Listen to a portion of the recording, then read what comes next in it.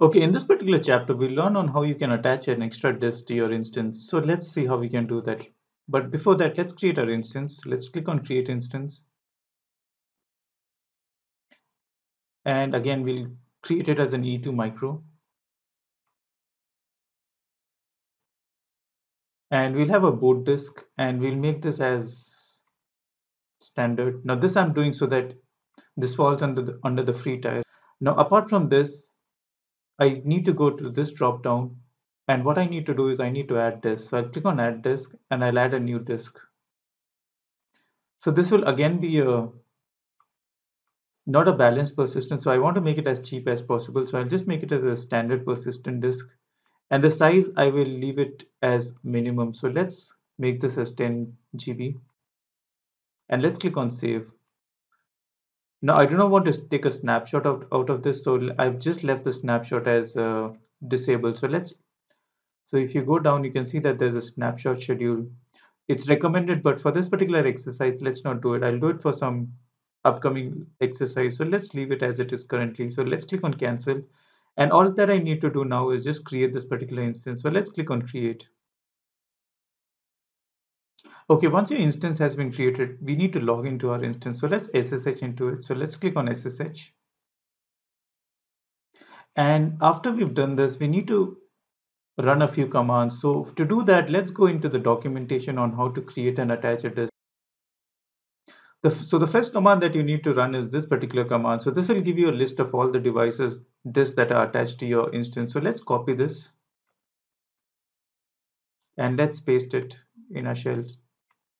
And let's paste it here.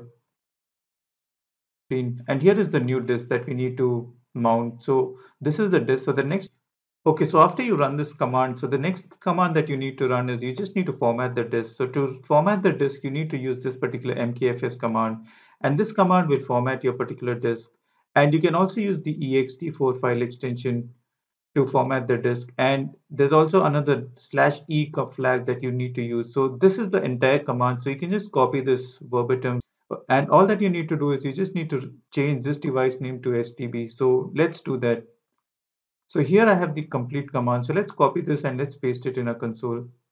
Okay, I've done that and we've formatted a particular disk. Okay, so the next thing I need to do is I need to create a directory and on top of that particular directory, I will mount this particular disk. So let's see how we can do that. So this should be fairly straightforward. So again, the only thing I need to do is I need to create a directory. So let's copy this command. And again, let's paste it in a notepad. Now these commands I will link in the description below so you can always use it. Uh, so let's just call this as my disk. So this will create a folder, uh, sorry, a directory by this name. So let's copy this and paste it in our. Okay, so we've done this as well. So the only thing remaining now is just to mount it on this particular directory. So let's go back to our documentation again. And this is the command that you need to use. So let's copy this once more.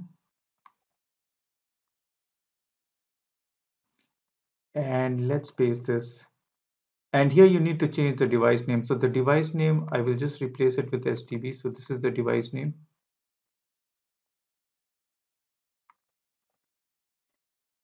and the disk and the and the directory name is this so I'll just copy this I'll paste it here and let's paste this particular command now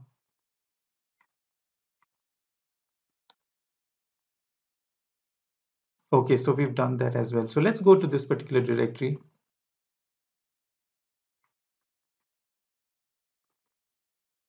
And let's do a df dot. And you can see that there is 10 GB data available for this particular directory. Let's try to store something right now. So let's do a touch ABC. Okay, so you can see that it has been denied permission. So we need to give permissions as well. So to do that again, let's go back to the documentation once. And a final command is you need to give a sudo chmod read write permission on that particular disk. So let's copy this command. and I'll paste this as well. And this will be my disk. So this is basically the directory. I'll copy this. And let's run this particular command.